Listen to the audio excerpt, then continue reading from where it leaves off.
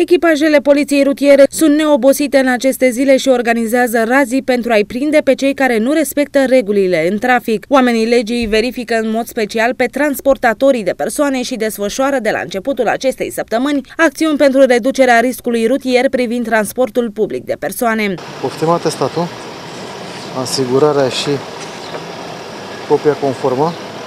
Domnul Piciu, uh, centura de siguranță de ce nu folosiți?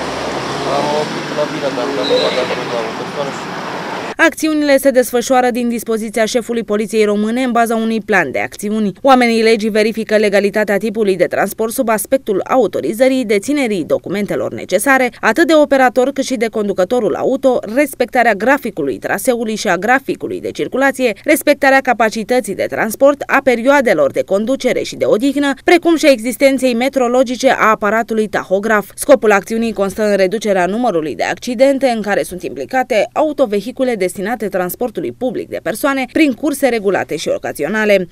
Vreau să vă spun că în două zile am uh, verificat peste 350 de autovehicule, am aplicat 131 de sancțiuni contravenționale, dar nu numai la transportatorii de persoane, avem în vedere și celelalte vehicule și când mă refer aici celelalte vehicule, mă refer și la cei care în uh, desfășoară activități în municipiu în regim de taxi.